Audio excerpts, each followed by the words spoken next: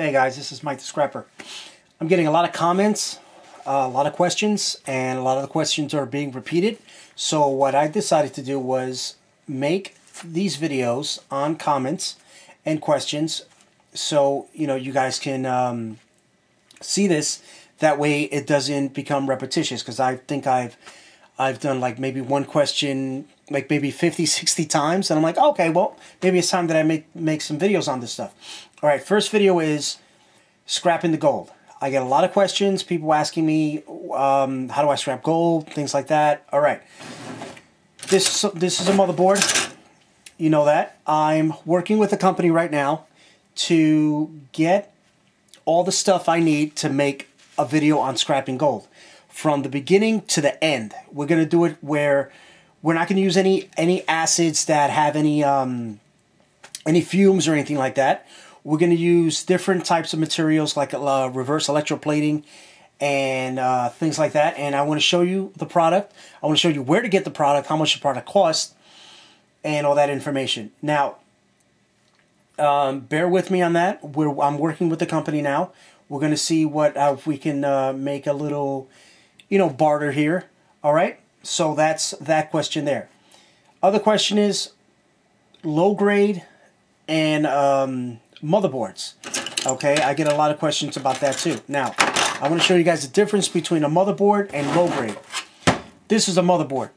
Okay, you get that in your um, your computer maybe a cell phone or a cable box, things like that, okay? They're pretty much considered all motherboards.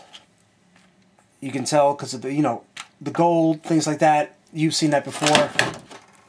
Little chips. This is the weirdest chip I've ever seen. I've never seen a chip like this before. All right, but um, you know, you get your CPUs, memory, things like that. Okay, now I'm to show you low grade.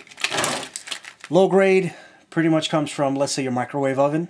If you have opened that up, open, uh, open up a a radio, you know, the inside of a TV, that's pretty much low grade, depending on the TV. If it's a tube TV, it's uh, like maybe 100% low grade. This is low grade here. All right? There's some low grade here.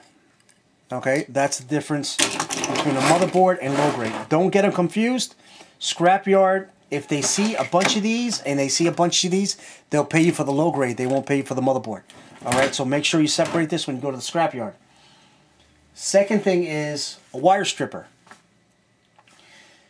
I get a few questions on is there a way to use to scrap wire without using a wire stripper?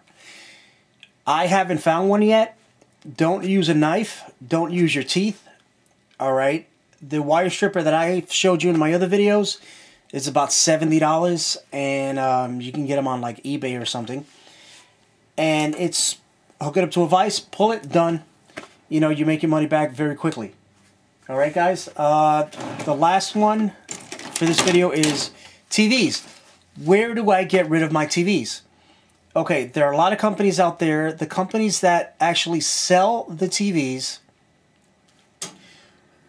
are supposed to take them back. Now, I know there's a company out there, a store out there, that will take your TV, but they'll charge you $10. Okay, now you're like, $10? I'm not going to make that much money on the TV. Now, this is how they work it. You give them the TV, they'll, they'll, and uh, you give them 10 bucks. In return, they'll give you a $10 gift card. Okay, unless you want to buy from that store, okay, but eh.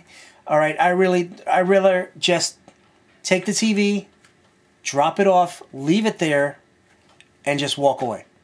That's what I I would rather do. All right, guys, this is Mike the Scrapper. Send me some more comments. Until then, peace.